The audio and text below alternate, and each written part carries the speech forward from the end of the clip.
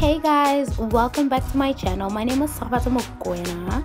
So good to have you all here. If you haven't subscribed please do subscribe. I'm back with a different video this time. I am doing a high ponytail with my 4C natural hair. And if you're interested in this look continue watching. Yes. Okay to begin this tutorial we are gonna need um, stretched hair I, I stretched my hair just a couple of minutes before because I was really really rocking a lot of shrinkage um, because yeah I hadn't combed my hair this whole week. Or yeah even like did any hairstyle during the week so like my hair was yeah not looking good. But yeah today I get I got to stretch it a little bit and also like detangle a little bit and so this is me just like detangling a little bit further because yeah we need detangled hair for this tutorial so that it can actually be easier to work with. It's always best to work with like stretched or very um detangled hair. Okay i'm gonna use a bit of like water to be able to um, just like soften a little bit of my hair so that it's also definitely easier to work with and I'm gonna brush it all out so that it can actually be super super super nice and neat. Um, yeah because we need it to be back. Um, I'm gonna be using my stocking uh, leg uh, one of my stocking legs. Um, I cut it off like a long stocking that I wasn't using. And so yeah this is what I use for my hair um, to just be able to put it up in a, into a high puff. Um, yeah so I'm just like pulling a little bit of the hair just stretching it a little bit more because yeah as you can see my hair is very fluffy and just very yeah.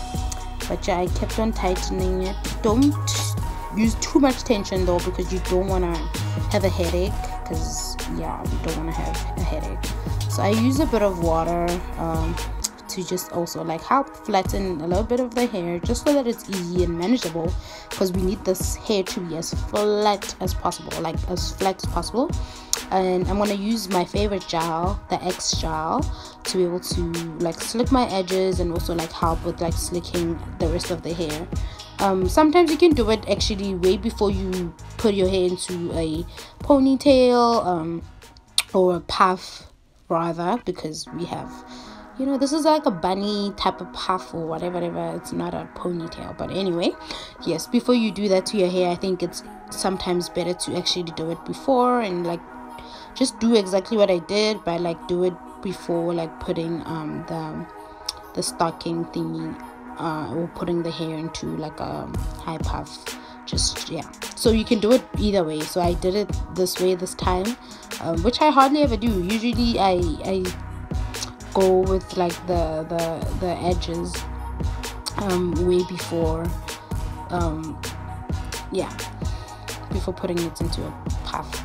So yeah this time i did it differently. Um yeah but i needed a lot of gel this time. I used a lot of gel um just like to try to slick as like my hair as much as possible because yeah it needed a lot of slicking. It was i think looking a little bit dry and yeah just yeah everything seemed to be going all over the place. As you can see i have a lot of flyaways and i can see them like going through just watching this video but uh, yeah. To avoid that you definitely need a lot of like gel and water to just brush that hair in and just like take it all away and just like put it away and just yeah continue doing that. For my edges I am gonna be using a toothbrush.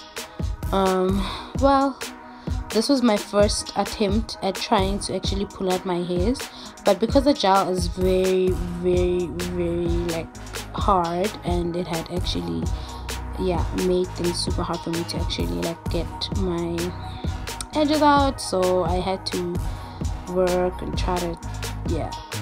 I, I had to do a lot of strokes and a lot of like brushing but some parts it worked and some parts it wasn't even doing much and so yeah I kept on doing it and yeah just used a little bit of water to be able to soften a bit of my hair so that I could be able to like yeah get those baby hairs out so that I can be able to shape them out properly so I can slick them properly so I can rock them yeah so yeah that's the most important thing here.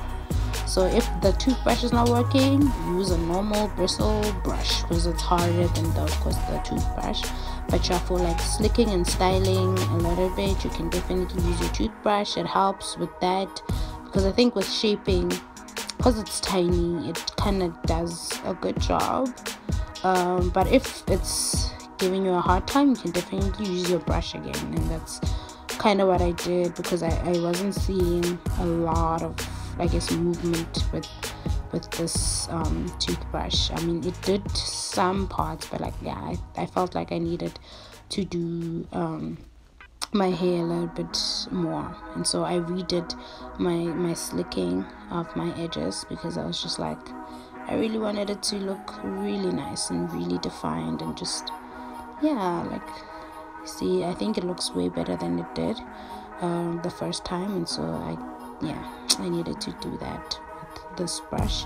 This brush really works way better. Um, even with the hair it seems a little bit more slick than it did the first time so yeah I will give this brush a thumbs up because yes it's doing the things that need to be done.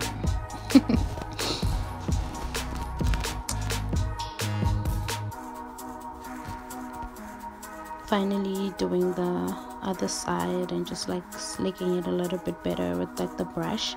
And it looks really good and like I'm doing it like a little bit more. And I like how it's like coming out. It's very interesting. Just like doing what I needed to actually do and so I like the way it looks. Um it looks way better. Um so yeah. For the ponytail we're gonna start with of course tucking away your natural hair. So I'm just gonna be tucking away my hair right there just by actually putting it into a a three strand like twist. Um and just like yeah putting it as much away as possible. But sometimes it's actually better to pin it down so that it's actually a little bit more flat and i think that's where my mistake was. This was strike one. Um i didn't put my uh, ponytail into like i didn't use bobby pins to actually like flatten it out a bit more and so yeah that was like the bad part but anyway um, i took a wig. I used the wig guys. I used the wig for my ponytail because yeah I mean, I figured I have a wig, I don't use it, uh, might as well use it for my ponytail. And so you can see the line in the middle, like the, the middle parting that's there because of course it's a wig. Um, but then yeah I will show you how to hide that parting without maybe I guess like taking like a marker or anything like that but also making the ponytail look a little bit more interesting. So I'm going to take a bit of the hair in front. Um, just close to the parting and I'm just going to take a bit of it just so that I can yeah just hide this spotting a little bit. And so you're just gonna like try to smooth it out and make it look super neat. Sometimes i think you should use a brush. I use my fingers to to try to make it a little bit like smooth but i think using a brush would be better.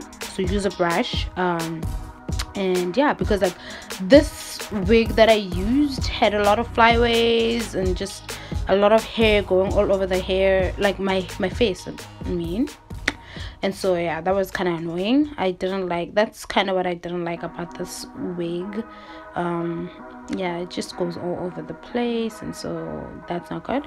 So yeah like my ponytail is really too like bulky. So like if you don't want your ponytail to be too bulky like that you really have to flatten your hair a little bit more because like actually working with like super stretched and very um, flat hair is a better option for this hairstyle or this like yeah so i might just do a do over with this hairstyle. But anyway um yeah use bobby pins to tuck away the hair or just like tuck it away in a little bit. But like yeah um i used bobby pins in the end to tuck it away because um it wasn't laying flat as i wanted it to.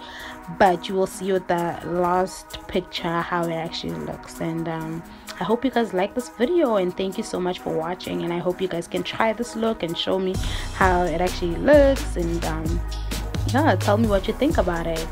Thank you so much. If you like this video and you have something um, that you would like to tell me to kind of like do next time i will definitely consider it and thank you so much for watching. Toodles